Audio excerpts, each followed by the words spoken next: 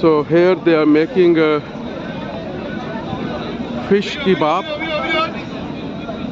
in this boat and then they are passing to that side.